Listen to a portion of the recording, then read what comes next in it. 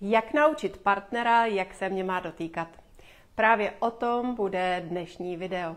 Můžete se těšit na tipy pro muže, ale i ženy, jak to navodit, aby se tě partner lépe dotýkal.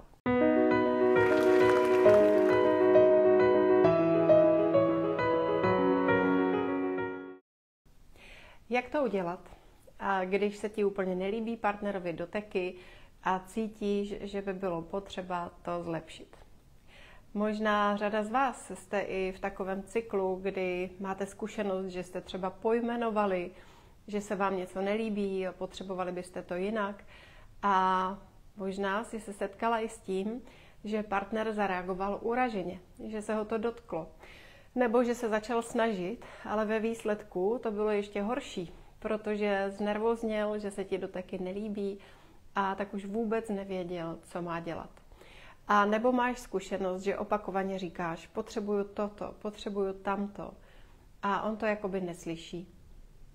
A nebo, jak už jsem zmiňovala, řekneš, ne, tohle se mi nelíbí a on se urazí a třeba dokonce i odejde. Jak to udělat, aby si se neocitla v žádném z těchto začarovaných cyklů a současně abys nemusela trpět něco, co ti úplně nesedí. Protože mnoho žen vydrží i doteky, které se jí úplně nelíbí. A v hlavě pak probíhá něco jako, no konečně si mě všímá, to je hezký, že mě hladí. Sice to není úplně ono, ale já to vydržím, protože eh, jsem ráda, že mě má rád a nechci ho urazit a jsem ráda, že se mě vůbec dotýká a e, není to tak hrozný. Pokud znáš tenhle vnitřní monolog svůj, tak se, si můžeš být jistá, že to hrozný je.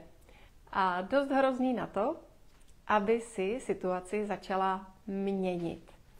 A nemusí to být úplně, úplně hrozný, protože, jak už jsem říkala, partner tě má rád a chce se tě dotknout tak, aby ti to přineslo radost, ale pravděpodobně neví, jak na to.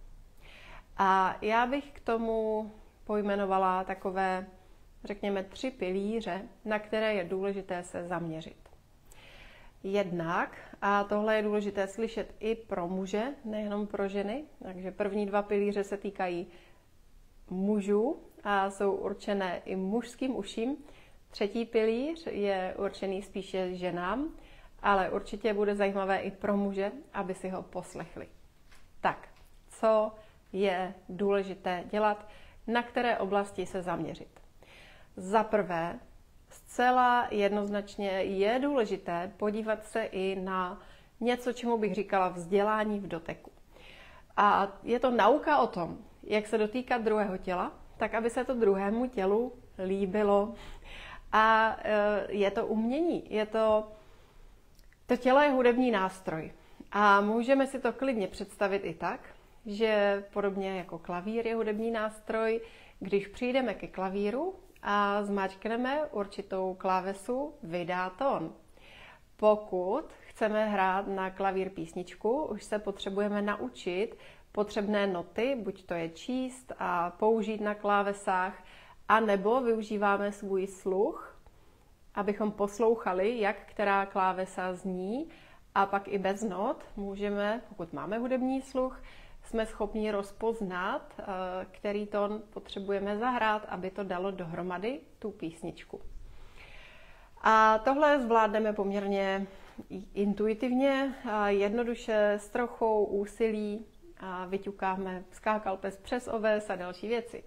Když bychom si chtěli zahrát etídu, tak už je potřeba buď to genialita, jo, něco jako malý Mozart, který hrál a řada dalších hudebníků, kteří hráli od dětství a byli takzvaně geniální nebo byli napojení a zkrátka dokázali tu hudbu vnímat a hrát i velmi složité věci a skládat skladby už v útlém věku.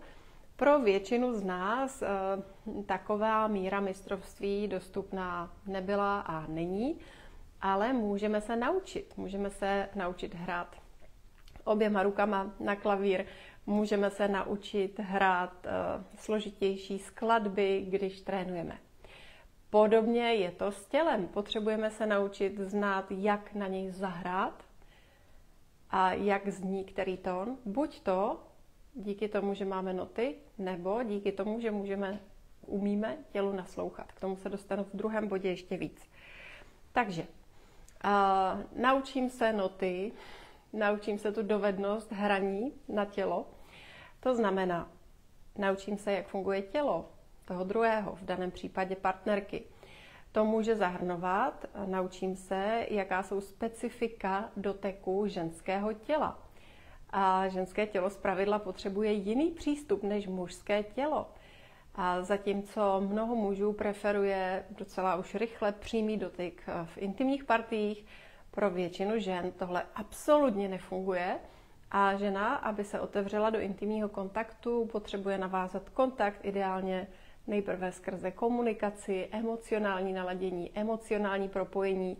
Proto je problém mít se ženou sex, když jste se třeba ráno pohádali a v ní to pořád sedí a chybí emocionální propojení. Nebo jste po x letech vztahu vyprahlí, unavení, ona má zkušenost, že si roky nevnímal, neslyšel, nebo má ten pocit minimálně a je jedno, jestli je to pravda nebo není, tak pokud ona to tak prožívá, tak to ovlivňuje její chování a pokud má žena pocit, že ji neslyšíš, nevnímáš a děje se to dlouhodobě, zcela jistě se uzavře i v intimní oblasti. V určité chvíli její tělo už přestane spolupracovat, najednou nebude chtít doteky, nebo bude taková ledová královna, možná váš intimní život začne být nemastný, neslaný, protože ona se do něj neotevírá emocionálně.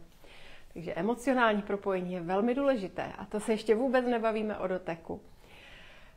Žena se potřebuje cítit v bezpečí, potřebuje cítit, že ji vnímáš. A, a to i znamená, že si ji vnímal historicky. Ráno, včera, před týdnem, před měsícem, před pěti lety. A pokud za sebou třeba máte období nějakého, uh, nějaké vyprahlosti a nedorozumění, uh, řada párů má zkušenost, že to velmi hmatatelně ovlivní jejich intimní život. A pak bychom se mohli bavit o tom technickém přístupu k ženskému tělu. Většina žen potřebuje, aby si jí nesahal rovnou na prsa, rovnou mezi nohy, ale aby si začínal na koncových částech těla. To může být hlazení ve vlasech, masáž zad, to, že ji držíš za ruku, to, že jí masíruješ chodidla, hladíš kotníčky, a dlouho, dlouho, dlouho se vůbec nevěnuješ těm intimním zónám. Tohle je jeden z velkých rozdílů mezi mužským a ženským prožíváním, protože většina mužských těl nepotřebuje půl hodiny, hodinu hladit všude možně a nedotknout se v intimních partiích, pokud doufá, že zažije nějaký sexuální kontakt se ženou. A tyto dovednosti nebo znalosti často nejsou úplně zakotvené v naší zkušenosti a my tomu druhému dáváme, co bychom si přáli sami pro sebe. Stručně řečeno, ženy chodí kolem horké kaše a muži se snaží navnadit tím, že si s ním popovídají o tom, jak on se má a že ho hladí všude možně jen ne v těch nejzajímavějších částech a naopak. A tak to zmiňuji úplně jednoduché principy a dál bychom se mohli bavit o detailech eh, kvality doteku, eh, bližší specifika techniky doteku, Plus to jsou i určité preference, které jsou specifické pro každého člověka, protože zatímco najdeme nějaké obecné principy, jak se dotýkat muže, jak se dotýkat ženy, pak potřebujeme zapojit i druhý pilíř, a to je naslouchání tomu tělu. To je jako když uh, uh, ke klavíru nevyužíváme noty, ale zahrajeme na tu klávesu a nasloucháme a všímáme si, jaký je to tón. Podobně hrajeme na tělo a vnímáme, jaká reakce přichází. Pozitivní reakce jsou prohlubuje se dech, tělo se uvolňuje. A tohle už se dá vyčíst z takových poměrně jemných signálů jestli je čelist zatnutá a obličej zatnutý, anebo obličej uvolněný, čelist uvolněná. Jestli další části těla jsou v napětí, a nebo v uvolnění. A tohle není vizuálně nějak výrazné, ale když se mm, s větším citem zaměříme na to, jak tělo reaguje, jak tělo vypadá, tak jsme schopni zachytit, jestli je tam víc uvolnění, anebo jestli je tam napětí. A jak už jsem zmiňovala, uvolnění se projevuje i skrze prohloubený dech. Naopak, pokud žena moc nedýchá, znamená to, že je v napětí a je dost možné, že si dotyk úplně neužívá. A je potřeba zkoumat, co by jí mohlo víc uvolnit. A to znamená zkoumat dotek na jiném místě, zkoumat jinou kvalitu doteku, zkoumat, uh, jestli je potřeba zpomalit, zjemnit nebo naopak přitlačit. Nebo jestli zachovat kvalitu doteku, ale přejít třeba ze zadečku na lítka, tak na zadeček. Jo? A to je vlastně to naslouchání tělu, kdy se dotýkáme a současně sledujeme reakci. Blíž tady k tomu. Eh, na kurzech pro páry učíme takové základy, jak se dotýkat ženy, jak se učit muže, nebo v online programu Tajemství šťastného vztahu, kde se učíme velmi důkladně, jak se dotýkat ženy, jak se dotýkat muže, různé léčivé modality, vědomé práce s tělem a z masáží. O tom je výcvik Kortač. Půjdeme dál. A i to je mimochodem součástí výcviku Kortač. Já vám k tomu pak na konci ještě řeknu něco víc. Ale jdeme na třetí pilíř a teďka trošku sejmeme tu zodpovědnost eh, z toho, kdo se dotýká, abych ukázala zodpovědnost i toho, kdo je dotýkaný, takže v daném případě žena. A ta otázka na začátku byla, co můžu udělat pro to, aby se mě muž dotýkal lépe. Jak mu to mám vysvětlit, jak mu to mám ukázat, aby on se mě lépe dotýkal. A tohle je velmi dobře položená otázka, protože my skutečně ovlivňujeme, zcela reálně ovlivňujeme, jaký dotek dostáváme. Čím víc jsme odpojené od svého těla, tím větší šanci máme, že nedostaneme dotek, který se nám líbí. Leda, že bychom pracovali s někým, kdo je hodně naladěný, nebo kdo je třeba i profesionál v oblasti doteku a skutečně už má velký jemnocit na čtení signálu těla. Ale nemůžeme to vyžadovat okamžitě od každého a naopak velmi napomůžeme tomu, abychom přijímali kvalitní dotek tím, že své tělo aktivujeme. A to někdy může být nepohodlné, zejména ze začátku. Ale jakmile se to naučíme, tak je to čím dál tím snažší a přirozenější a ve výsledku už se nedokážeme představit eh, žít bez toho nebo mít dotekový kontakt bez toho. Co to znamená?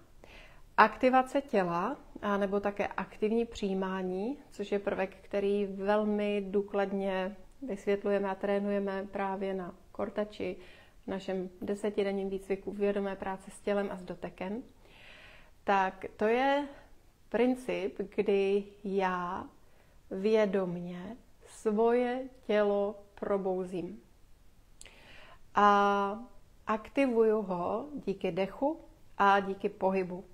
V té úplně jednoduché verzi to znamená, že prohloubím svůj dech a spolu s tím, jak dech prohlubuji, tak si i dovolím zapojit pohyb těla, protože když se pořádně nadechnu, tak moje tělo je v pohybu s výdechem. Moje tělo je v pohybu. A můžeme i sledovat takové zhoupnutí. Zhoupnutí v oblasti naší páteře, zhoupnutí našeho těla. A to je něco, co můžeme podpořit. A to aktivní přijímání znamená, že já vědomně probouzím své tělo vědomě dýchám a já doporučuji představit si, že se nadechujeme až do oblasti pánve nebo až dolů do pohlaví, což nám pomáhá zakotvit se v centru našeho těla. A současně i s hloubkou vydechuji. Ten výdech je také hluboký, je plný. A současně je nádech i výdech uvolněný, příjemný. Není to práce, není to tělocvik, je to příjemné. Takže hluboký nádech, Hluboký výdech.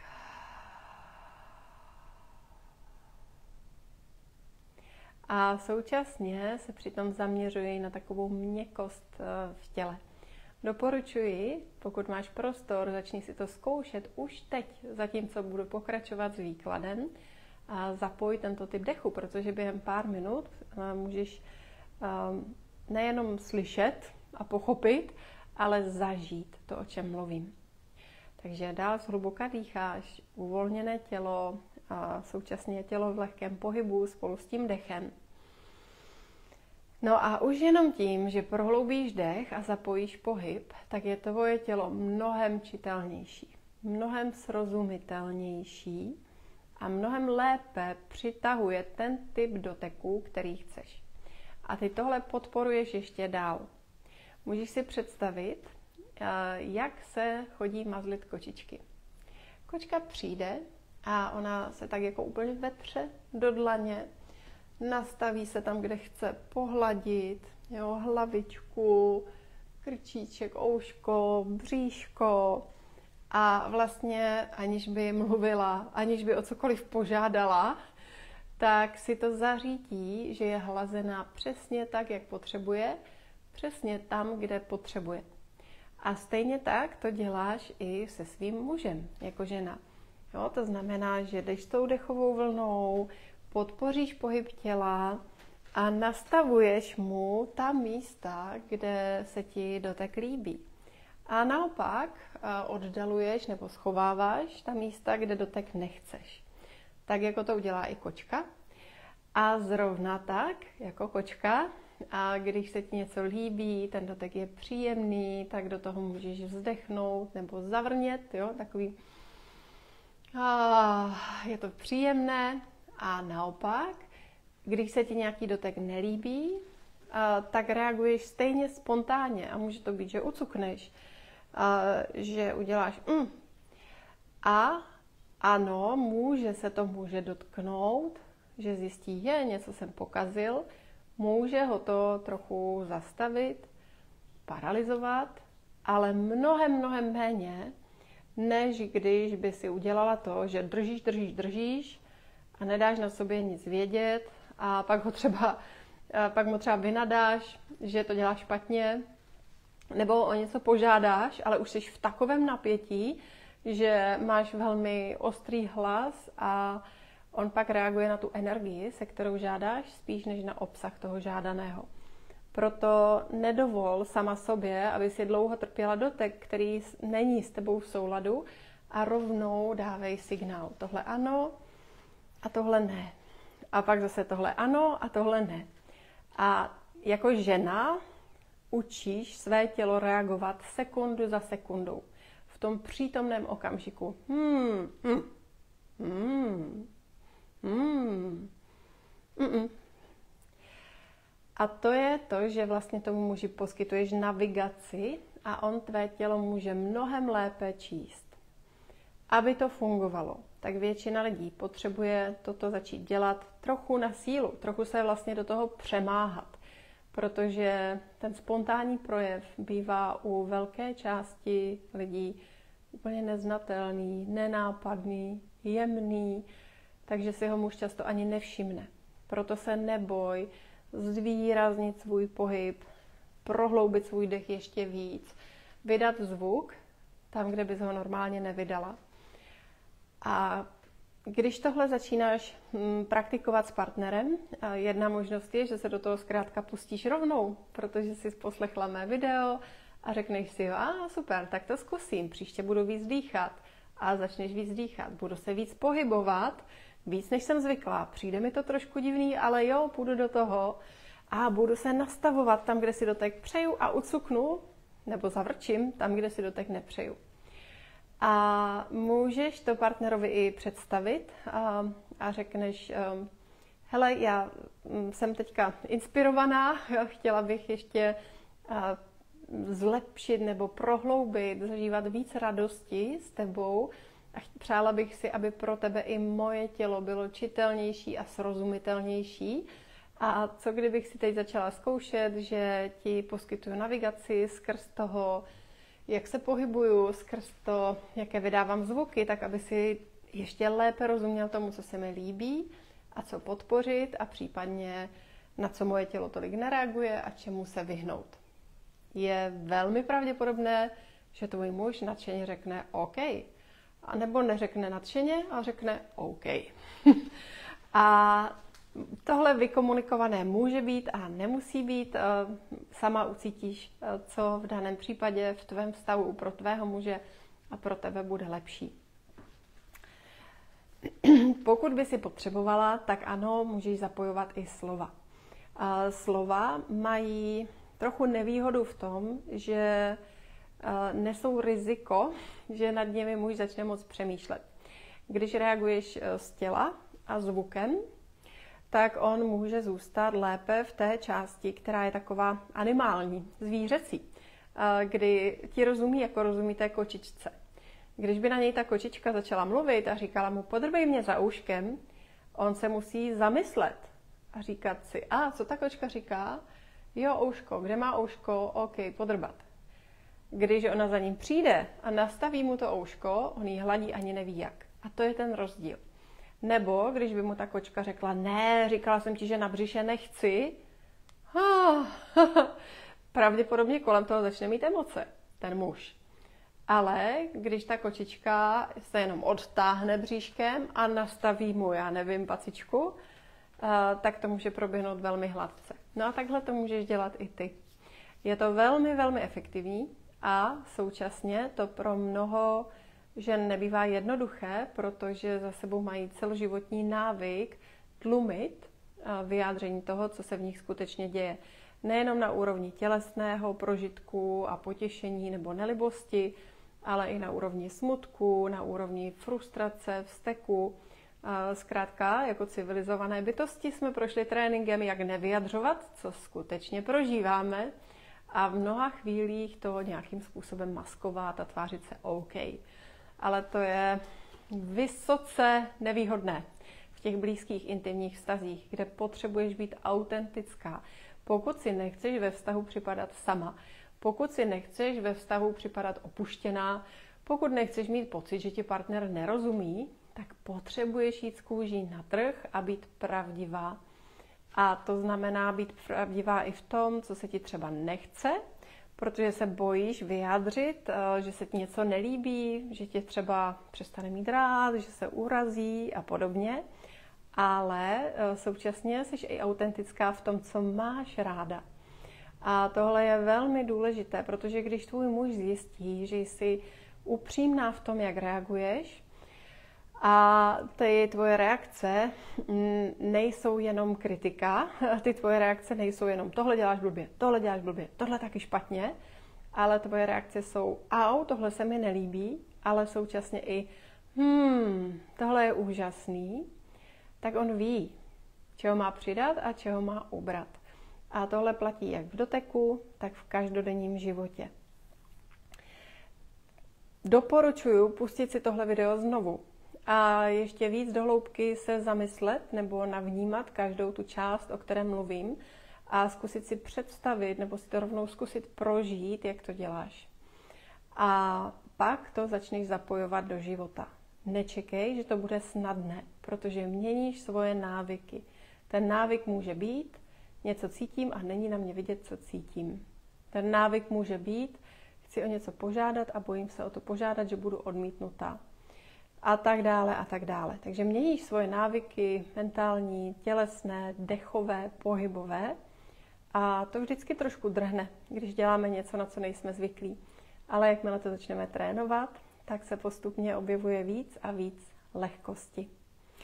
A pokud patříš mezi ty, kdo by si tuto cestu chtěli projít velmi rychle a dosáhnout velkých změn v krátkém čase, tak nejrychlejší cesta, nejefektivnější a nejhlubší je výcvik kortač. Core touch, jako kortač, e, je to dotek, který jde až do jádra.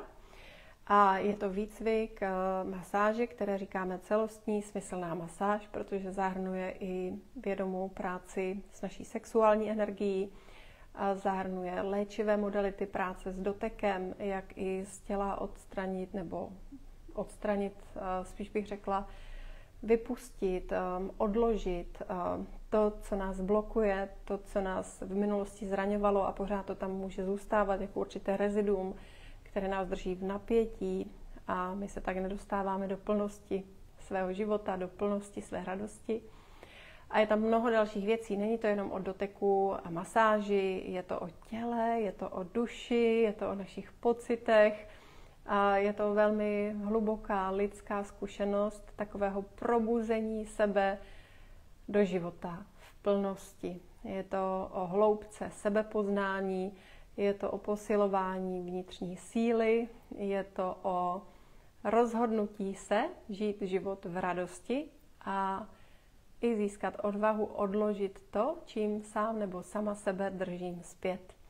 A na té praktické úrovni se učíme spoustu věcí kolem toho, jak se dotýkat ženy, jak se dotýkat muže, jak se skutečně naladit na tělo, jak aktivovat své tělo, a jak rozpoznat a v lehkosti komunikovat své hranice, jak se naučit znát a komunikovat své potřeby a říct si verbálně i neverbálně o to, co potřebuji a dostat to a přijmout to. Je to i o tom naučit se přijímat, dopřát si, naladit se na radost a lehkost. Zkrátka naprosto zásadní životní dovednosti. A tak k tomu ze srdce zvu. A jak už jsem říkala, velmi doporučuji, pusť si tohle videjko ještě jednou a nech k sobě ten obsah přijít ještě do větší hloubky. A rovnou si zkoušej to, co ti doporučuji. A určitě budu moc ráda, když se uvidíme naživo na výcviku